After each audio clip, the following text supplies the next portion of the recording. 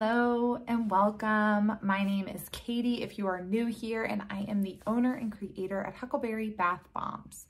If you have found yourself here today, number one, thank you for joining. Number two, if you enjoy this video, please feel free to like it and subscribe. And number three, I hope you find something valuable out of this video. I know creating this channel has been a wonderful outlet for me um, of sharing information with people and also having an addition to my creative journey of being a bath bomb maker. In today's video, I personally, when I started making bath bombs, um, made a regular DIY bath bomb recipe. I hadn't done any research on ingredients, what the purpose behind the individual ingredients did. Um, and it wasn't until I got into my journey as a bath bomb maker that I realized that there is a way to basically level up your bath bomb recipe. But like I said, didn't know what I didn't know. So today, I'm gonna take you guys through a DIY at-home bath bomb recipe that anyone and the mother can do with pretty much things you already have in your kitchen um, and then demo that bath bomb against a one of my bath bombs that I have made that you guys have seen me make in videos previous. So if you would like to see how a DIY bath bomb versus a professionally, professionally made bath bomb behaves, then please come along for the journey that will be that. All right, let's go.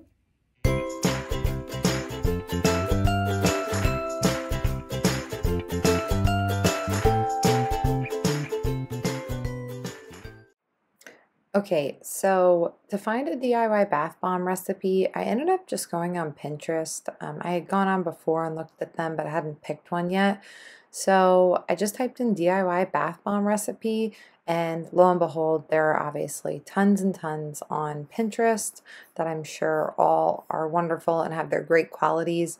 Um, but I was just looking for one that kind of stood out at me.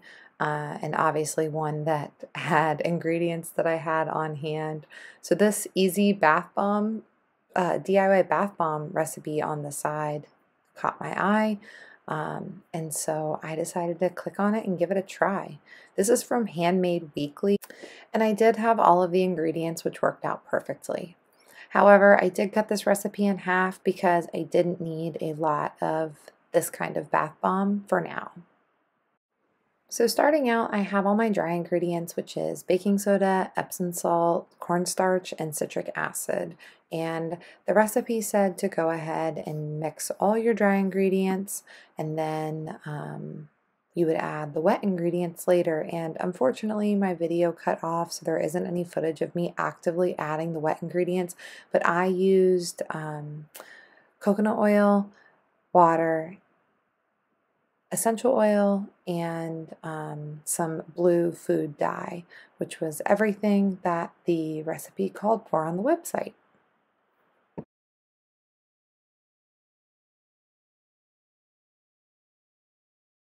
Okay, guys, I was not prepared for this level of a disaster. As someone who I feel like is okay at making bath bombs, this did not go well at all.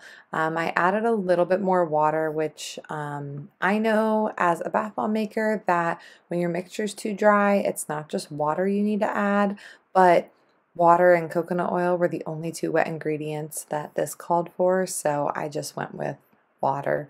Um, I did get one to set up like kind of okay. Uh, pretty much everything else I pressed was a nightmare. I was really ashamed of my inability to get this to work. Uh, pretty much everything cracked in half other than the one that I got the first round.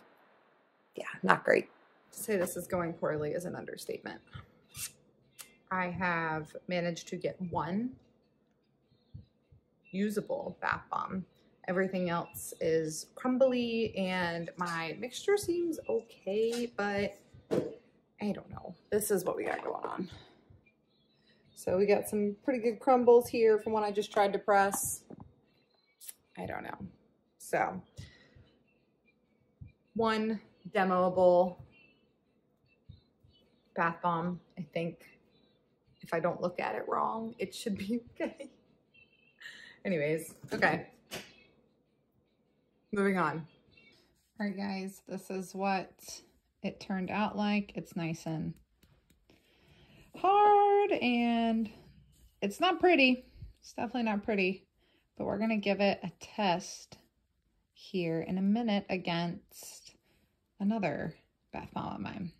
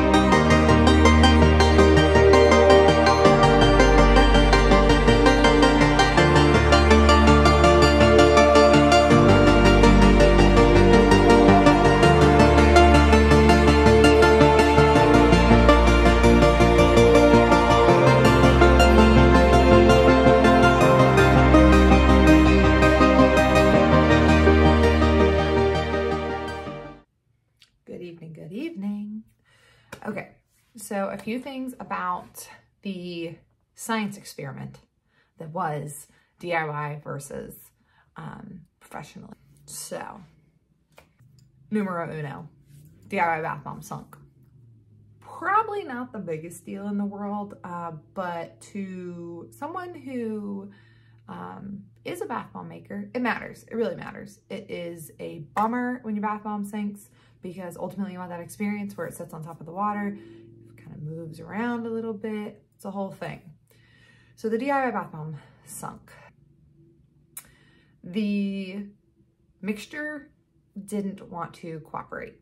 Um, so I ended up packing it really, really tightly into the mold.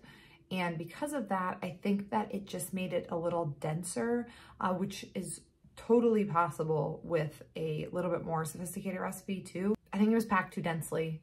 Therefore, it sunk.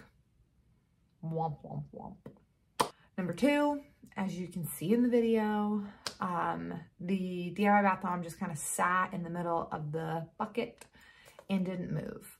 Um, again, not that big of a deal.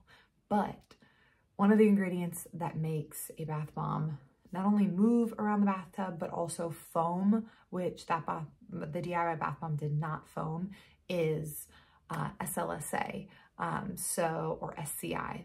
Those are the ingredients you'll find in a little bit more sophisticated bath bomb recipe that create that foamy, bubbly, fizzy experience. Whereas obviously the DIY bath bomb recipe did not have those that, that ingredient. So that was my science experiment. It was really fun. Actually, my son was the one that was dropping them into the tub. He really enjoyed that. So takeaway message. You can make these things at home. Why not? I used to do it too. It's perfectly fun. Great time for you and the kids. Um, it really is. Like, you know, I don't think any bath bomb maker will have their feelings hurt by someone making bath bombs at home. It just, it just be like that. Okay?